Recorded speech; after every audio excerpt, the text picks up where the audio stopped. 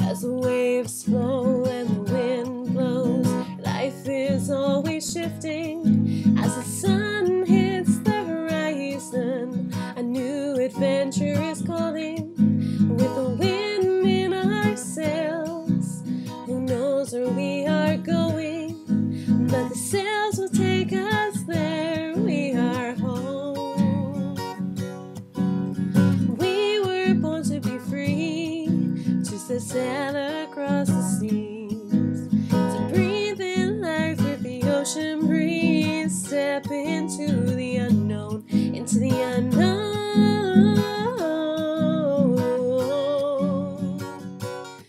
On this episode of Sailing NV, our dinghy escapes.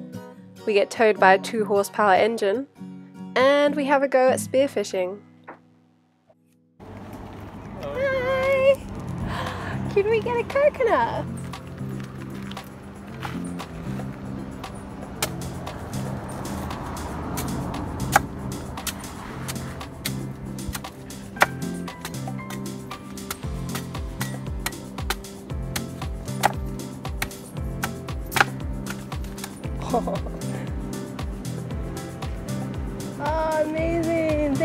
So, so much.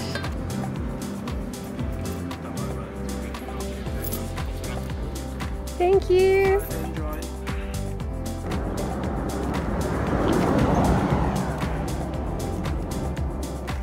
Do You want to know the best thing about natural coconut water? And we're not littering. That's how you get rid of it.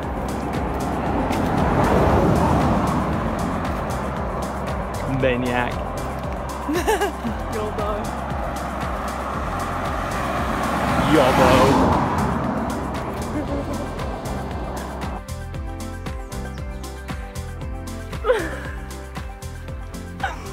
That over there? this is our dinghy.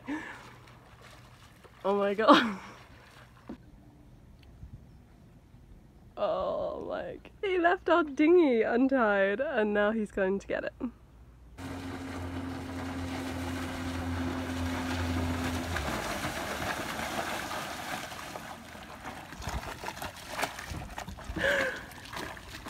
What happened there, Mo?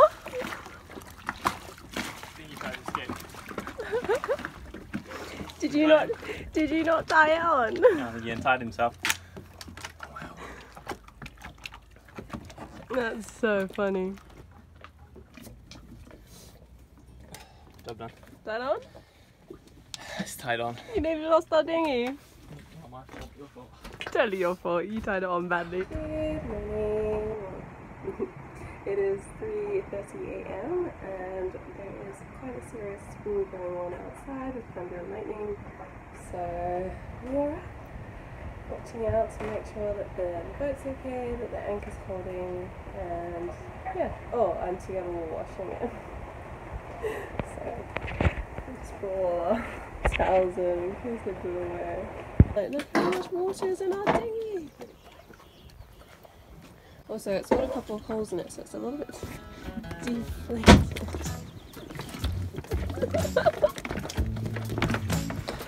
okay, this is also something that we have to do every single morning with this dinghy. Was inflated up.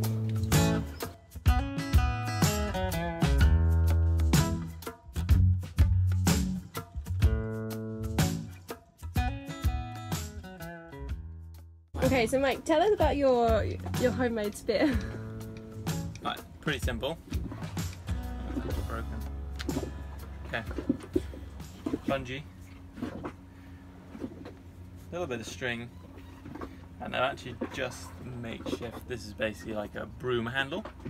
And all I did was cut a hole in the top. And the plan was to epoxy in, have a spear tip in the top which is interchangeable. So if you do break it, it's easy in and out. But I'm to have to replace this wood with a fiberglass pole, which is what I originally wanted. But super simple. Hole, spear tip, which didn't work because the epoxy was crap. Bungee, and it works. Super simple. Okay, so basically what happened was Mike created his own homemade spearfish, which is actually very cool, I have to say. But it kind of broke on us. um, the end, the spear, hadn't actually Set properly. set properly with the with the epoxy that he used to keep it in there. So that didn't set properly. So when he went to spear this lionfish, the end came straight out of the pole. So Mike and I are vegetarians, and we're vegetarians because we don't agree with the the mass consumption and the way things are brutally killed. Um, but we always said that if we got a boat, then we'd probably start fishing because I we feel we really believe that that's the way to to do it. If you want to eat meat or fish, you should either farm it or fish it yourselves. Like that's how we truly believe. Maybe now we can start fishing our own fish. So what are you doing now? We're just going to fillet it. You cut down the back of the neck.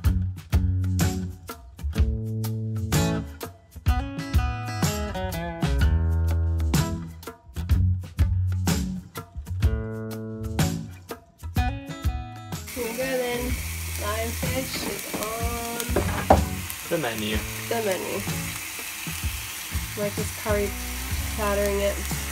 There's a curry and coriander. And then it'll go with our homemade pasta. Okay, so our dinghy has officially decided to pack up.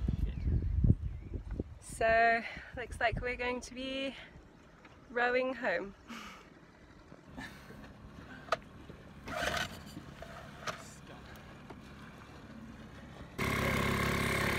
So this, okay, so we've swapped over and we've got this lovely guy Jeff now helping us out. So he's got a slightly bigger engine than the one before, which was only a two horsepower engine. So yeah, we're doing a lot better now.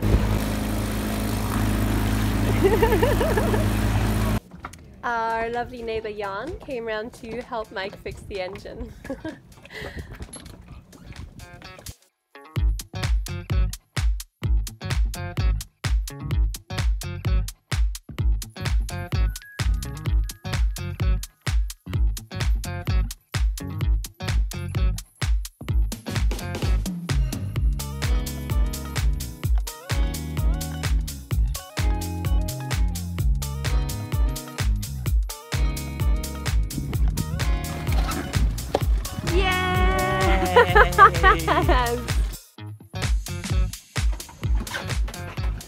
Okay then, round number two.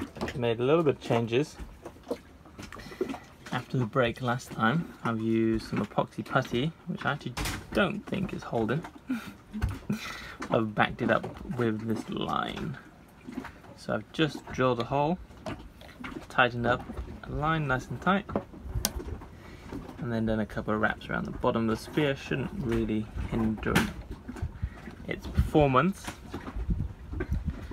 and we're gonna go see if we can catch maybe two lionfish and see if we can have those for dinner tonight. Mm-hmm.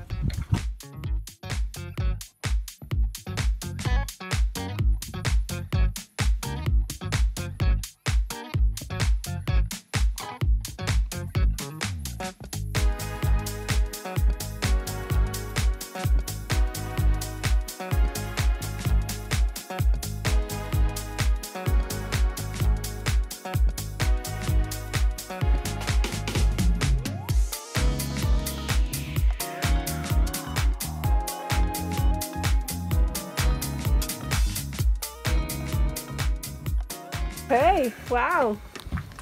Good catch, Mike. Alrighty, just get rid of all the spines. Okay, so let's see if we can do this properly then today. Okay, what we need is bucket, cutting board, a lionfish, knife, scissors. To be fair, you should really wear gloves, but we don't have any, so I'm just going to use. Look at you, such a pro now. And then basically, the tips of the spines is where the venom is. So they're not poisonous, they're venomous, which means that we can eat them. So just, yeah, just protect yourself against the spines. So. Not all the spines actually have venom, but I play it safe and just cut all the spines off.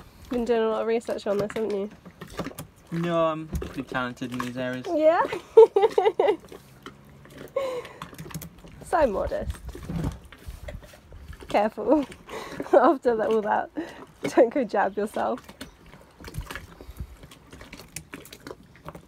Yeah, maybe we could do with some better Scissors. scissors, eh? Yeah, we've got the the world's bluntest scissors and knives on this boat. But And So the basically, you just return spines- these. I'm going to put them, return them to the sea. And then return them to the sea. Just be super Which careful. they actually sink, which is good because we were worried that they would float and jumping into the water afterwards would be a bit like. mm. So the spines actually like come out of the the spine cover, should we say? There's like a sheath. So There's a- a sheath here, and you can see they're starting to protrude. And the sheath protects the venom, and actually helps layer the venom on the spines. okay, so why is Kion going to get you a a fiberglass spear? Uh, which sucks. Wood just sucks. Basically, it just got a little bit wobbly here at the end. It's not fully like stable. It's basically coming out straight away. It's not sticking, so which is a shame because his homemade spear is pretty awesome. Problem or anything? Yeah, maybe you didn't leave it long enough to set. Okay, what do you have there, Moors? Yes! a proper This is a fiberglass nice rod, fiberglass rod, eh? which is going to work. Wow, that's so cool. God, it's long, isn't it? A lot